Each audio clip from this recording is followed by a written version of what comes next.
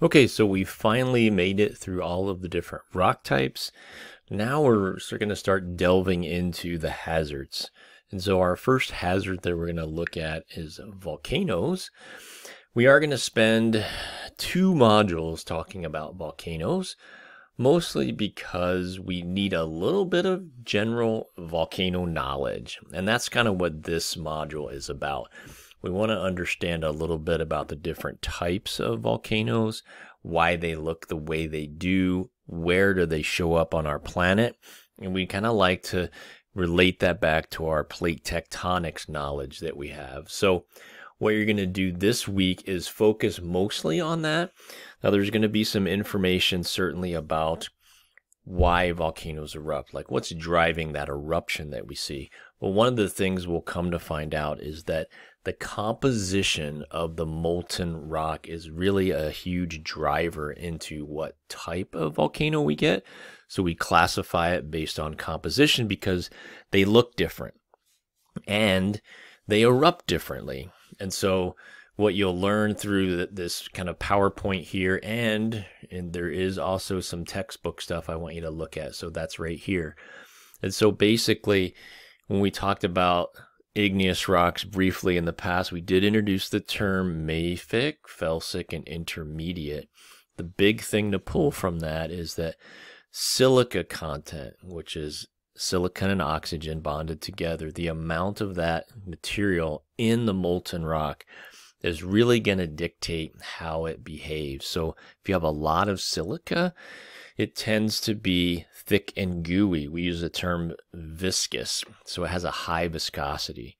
If you have a lot of silica, so high silica, high viscosity.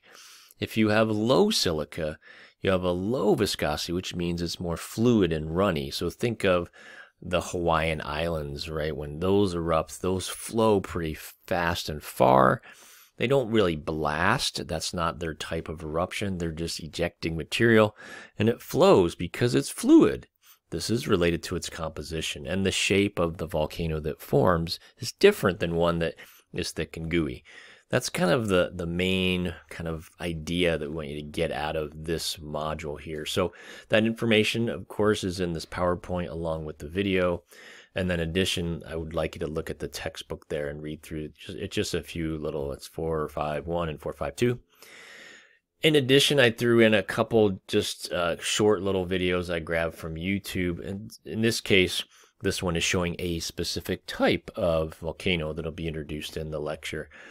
Mount St. Helens, which was a you know an, an, eruption that happened in 1980, and so it's fairly recent, and it happened here in the U.S. So that's a good one. And then uh, a, a caldera, what a caldera might look like. So these are just visual representations of three different types of volcanoes cinder cones, stratovolcanoes, and calderas. So hopefully that'll help you kind of visualize those things. For the article, I'm going to have you read um, about what's called the VEI, which is the Volcanic Explosivity Index. This is just a way to measure kind of the how explosive a volcano is, right? We have a scale for earthquakes, we do have a scale for volcanoes, and it's really related to how much material is thrown up into the atmosphere. So it's related to the violence, right? How violent and how explosive it is. And so you can read through that and then it'll give you an idea of how we calculate a value for an eruption that may have occurred.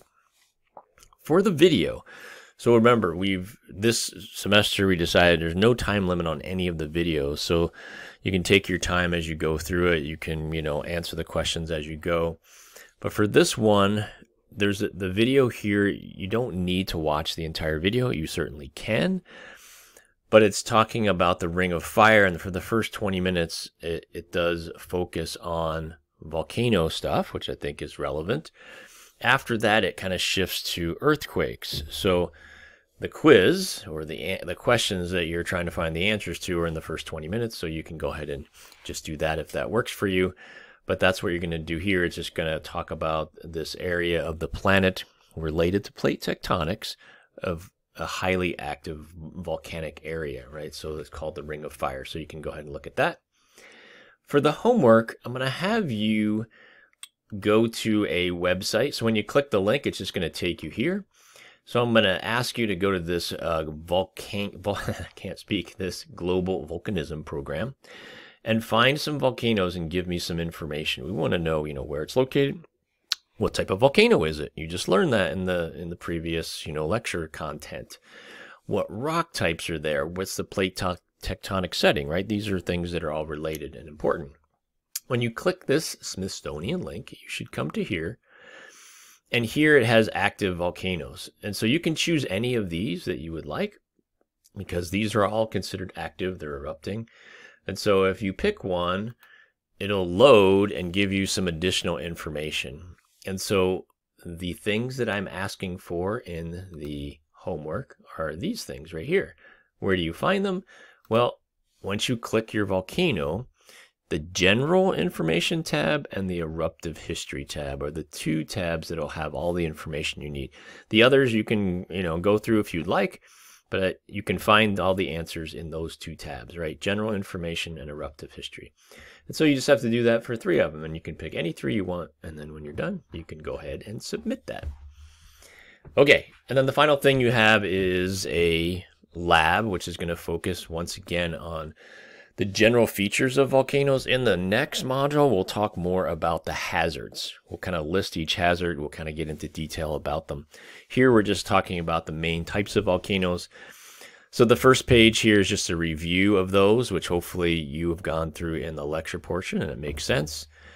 And then there's this kind of summary chart that gives us a lot of information about the different types of you know molten material that can make it to the surface and some of the properties associated with those. You're going to use this in the lab so i think it's linked in there so no worries you can go ahead and do that. And then of course once you get to the lab itself we'll take a quick preview. So here once again there's a tutorial here that's going to tell you what to do in this lab but you know some of it is just answering questions from this little volcano review. But as we go down a little further it's basically we're we're trying to get you to see that you can use the profile a topographic profile a side view if you want. The shape and size of volcanoes is indicative of the type. Big ones small ones big craters small craters and so in Google Earth, you can create a topographic profile like this. And so it goes through, if you read carefully, how to create one.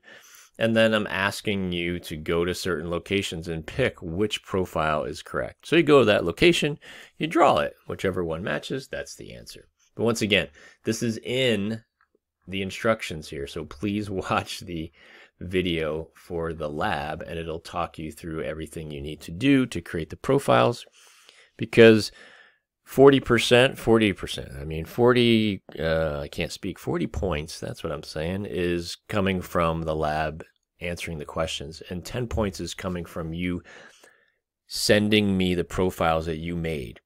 So as you go through the lab, it'll say, make this profile and save it make this profile and save it. You should have four. And when you're done, I want you to upload those four images to me and that'll be part of your grade. It's talked here, so hopefully that's good.